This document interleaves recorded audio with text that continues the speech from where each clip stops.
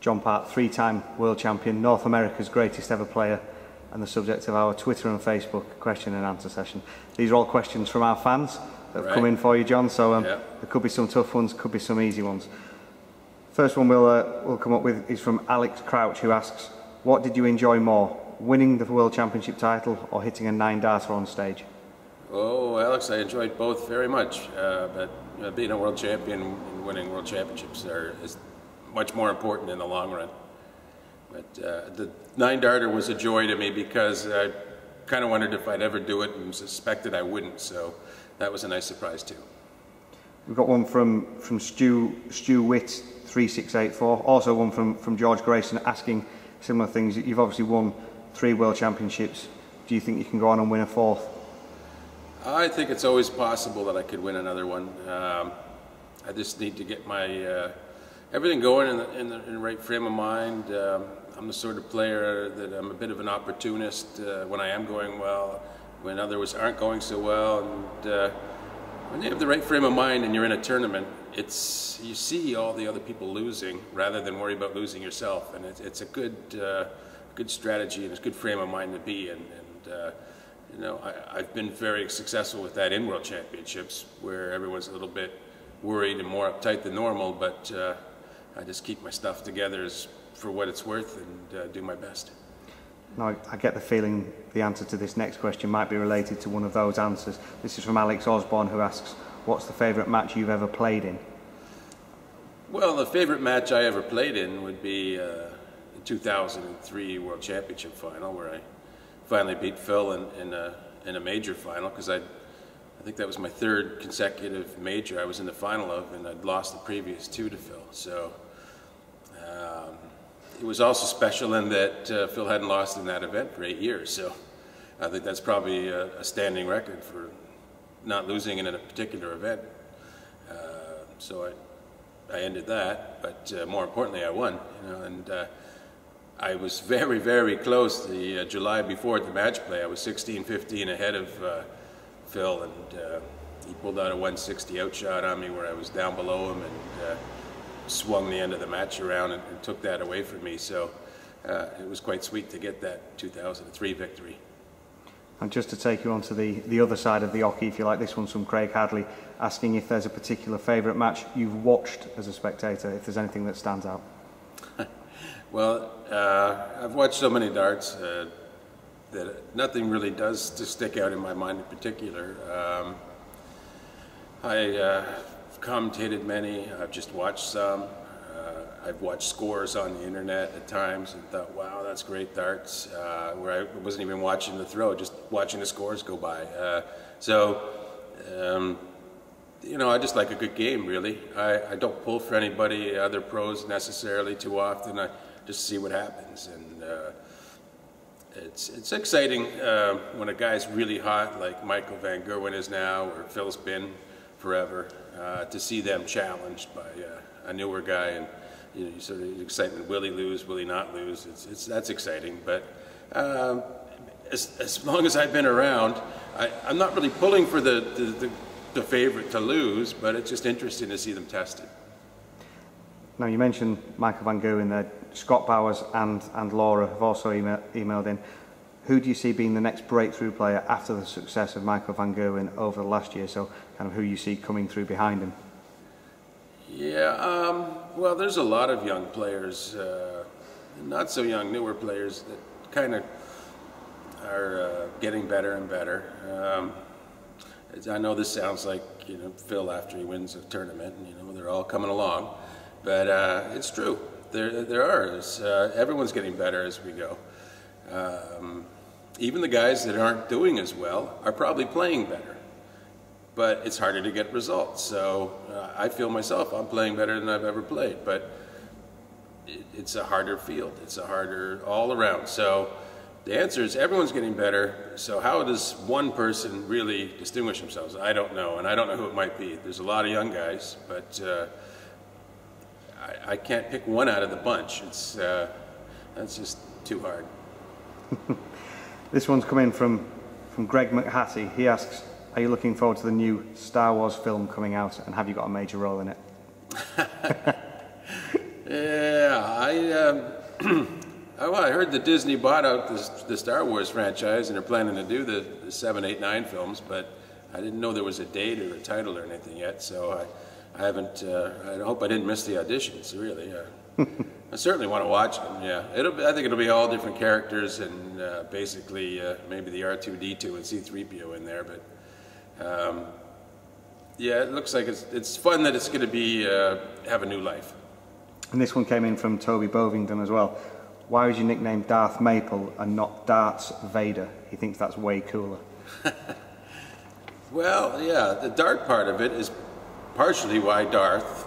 So that's it's incorporated, you know, into Dart. So, um, yeah, Darth Vader would have been pretty cool. But I think at the time the film, the, the first prequel film came out, and Darth Maul was a character there, and just Maul and Maple was sort of was there, and uh, so that kind of went down that road. I've had a, couple of questions come in. Patrick nine one nine one and, and Matt Giorgino as well, asking, is there any chance that they'll see you back in the commentary box again? Um, Patrick certainly says the BBC hasn't been the same since 2007. Well, that's a very nice compliment. Um, I did get a bit of a taste of commentary last year at the European Championship uh, here in Mulheim, and uh, it was nice to do again, but um, still it hurts not to be on the stage and playing, and uh, I'm glad I rectified that for this year, uh, although it was different uh, stations, so I wouldn't have been doing it again this year anyway here, but yeah, I, am looking towards some opportunities here and there. Uh, we'll see how it goes, but I'm in no hurry to stop playing, and I, and I think uh, it might seem pretty casual to people watching you know, commentary that you can just step in and out, but it, it is a profession and you need to commit to it, I think, to do a good job. So, uh, not full time yet, but there might be uh, some up and coming uh, guest shots. Now, you mentioned full-time profession. Obviously, for you, it's, it's, it spends a lot of time travelling backwards and forwards across the Atlantic. We've had quite a few people, Sean Barkley, Shirley Cutler, Linda Davies and, and Dan O'Leary asking, how do you cope with the travelling to and from Canada? And also, do you, do you wish that there were more major tournaments held over that side of the pond? Well, um, I like the fact that, uh, that we have a really good tour emerging with good prize money over here. Um, in England and, Germany, and you know, there's lots of talk, and it's always fun that we add events. But the more events you add, the the more of a grind it is really. So yes, uh, it'd be nice if there were more events in, in North America, but maybe then uh, where, where would we lose a few? I, am not sure how that would work. Um, the, the one thing I'd really like to see more than anything to support having events in North America is, is getting some live darts on TV over there. It seems like we've never had it really properly live from England. Uh, at any point in any of the Premier League or anything. It's always the package shows, which is better than nothing that it's on. But I think to generate the interest you need to fill some stadiums and to promote the darts properly as uh, uh, like we have tournaments here, that uh, first things first, get the, get the product out as a live package uh, to get Canadians and Americans familiar with it more. I know it's a lot to ask. It's a very competitive market there, but uh, and that's probably the first step, really. And one that came in through the Facebook page from, from Matt Stoner. What do you think needs to happen to make more players from North America competitive on the world stage? Uh, it's been a, a, tough story for a long time to try and get, you know, we, we have a lot of very uh, capable players in, in Canada and, uh, and, in the U.S. Uh, and um, how do they develop into pros? And, be on tour all of a sudden. Well, it, it, there's no real stepping stone. It's sort of like you have to just dive in. Uh, Ken MacNeil's a great example this year. He's uh, went full time on the tour and uh, has played the first half of the year and done very well, respectably. Uh, respect, uh, respectably, yes, that's the word. And uh, but he has to commit to it. You, you, you just it has to be everything. You need sponsorship, uh, probably in most cases. You need to have somewhere to live. You probably need a visa. Uh, sorry, Ken. but uh, yeah, I, that that's an example of like uh, this, with everything, it's sacrifices. Uh, I didn't get where I am without sacrificing a lot of different things in my life. And you got to make your choices. You this is what I'm going to do. Is what you're going to do. And um, yeah, I mean, uh, at this point, there's no answer for, that I could say. Well, we need to have a tour, this or that. I guess it helps a bit to play the same format, which is what's going on now. But it's just not the same crowds, you see, the same atmosphere. So it's, it's, it's a tough call. You mentioned the, the, the emerging North American tour and the, the championships over there. One that came in from Steve Maracle about the, the events this, this summer in London, Ontario. Says he's looking forward to watching you play. Could we get a picture together? As long as you're there, that is. Yeah, Steve. Well, yeah, I, I might be there. I might pop in. I, I don't know if I'll be there all weekend. Uh, I'm sort of working my holidays around then, so uh, I think I got a way of sneaking in to play a few games, so take a few pictures. Now, Dion Jacobs asks us through Twitter, John, do you still have the same motivation to practice and compete as you did a few years ago?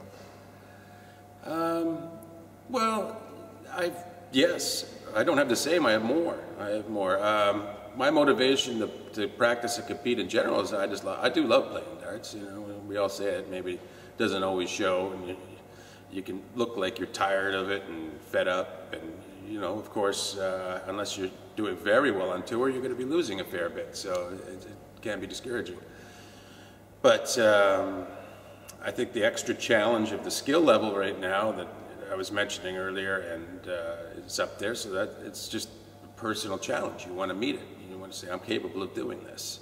So that's a good motivation, and also with the, the PDC's growth and all the prize money, I mean, uh, that's good motivation because not all us players are, uh, you know, as successful in the past 20 years as Phil, you know, and uh, we're still trying to get some nest eggs put away. well, on, on that line of success, Warren Allsworth has asked us, having qualified for all the TV events for the rest of the year, what are your targets now for the rest of this season? Um, well, yeah, that's uh, a good question because um, you want to always kind of play in the present and just try and win an event or a match, a game.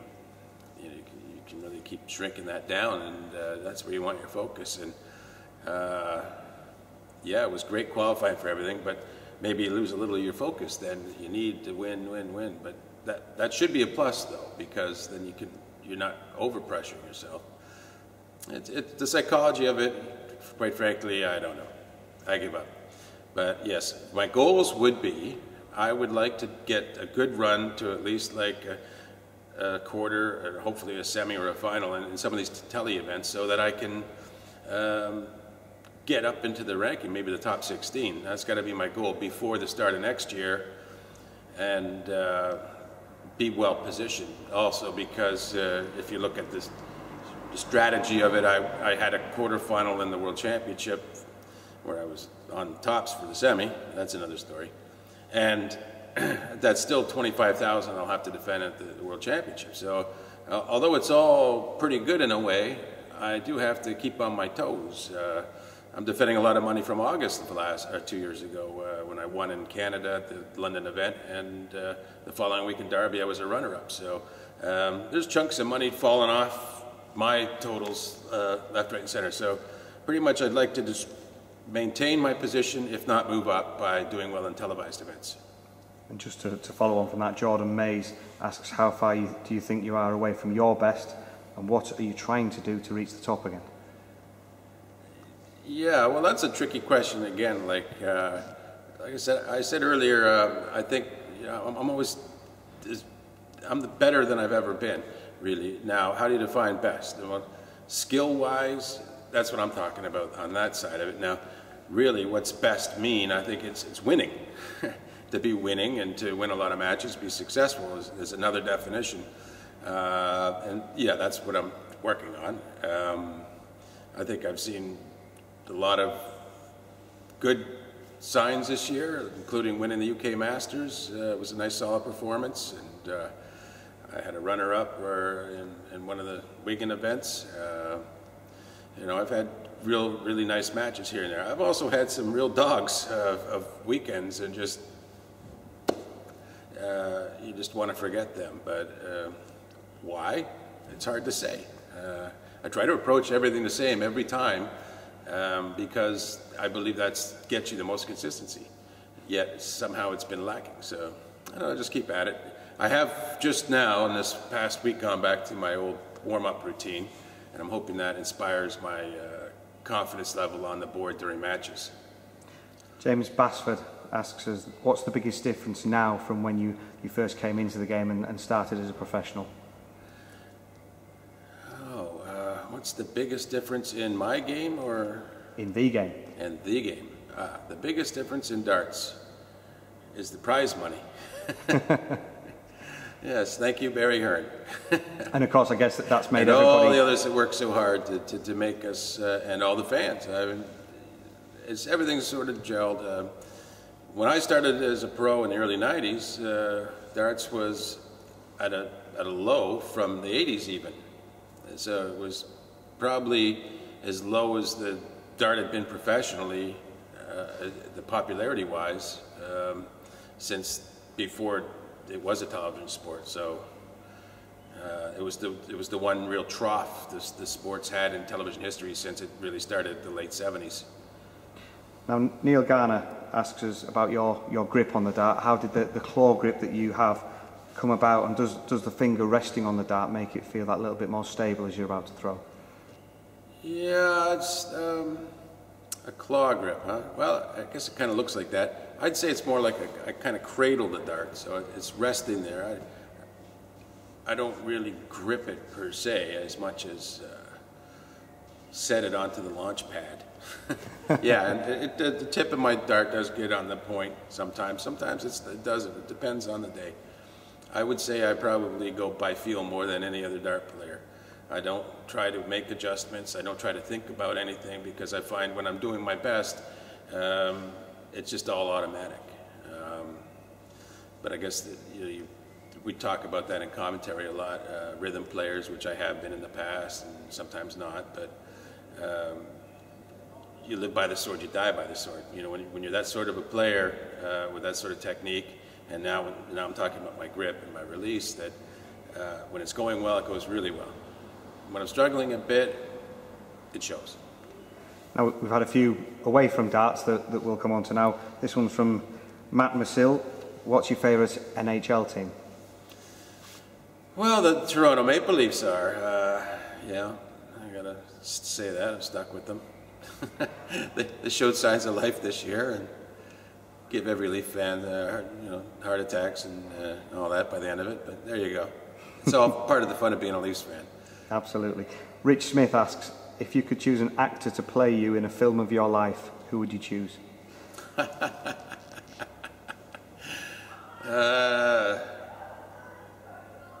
well, I guess, you know, that's kind of an odd question because do you need to get a young guy so he can do the young scenes too?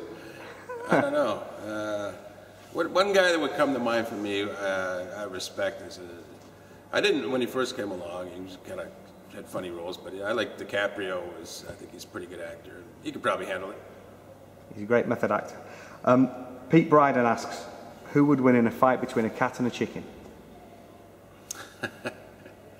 well, it depends if the chicken's been cooked yet or not. There you go. There you go. Um, A.D. Mason asks us, who was your inspiration to take up darts? Um, my inspiration to take up darts? Well, I didn't particularly have an inspiration to start throwing, but when I did start throwing, I kind of like Bob Anderson's style a lot. Uh, he was a world champ uh, and top player. Uh, like the old, you know, I get the, the part sneer thing a lot. I probably got that from watching Bob, or maybe that's just who I am, so I like that. because he kind of had his own little snarl and grimaces and stuff he did, and I think that's all kind of cool.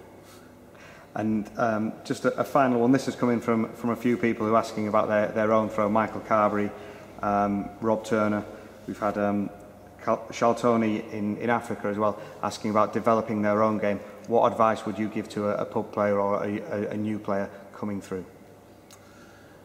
Well, you do want to practice quite a lot. Um, And when I say a lot, I, I think often. You know, probably if you could do 15, 20 minutes a day on the board with some sort of simple routine that uh, do wonders for your game and, and, how you end up playing against other players, your, peers, um, give you a big advantage just making that sort of commitment to have a throw every day, even as short as 15, 20 minutes. Just have a nice routine and uh, I think, you know, that will carry you forward. That'll build you into better habits. And, you probably build up your routine and you, you'll want to do more and more.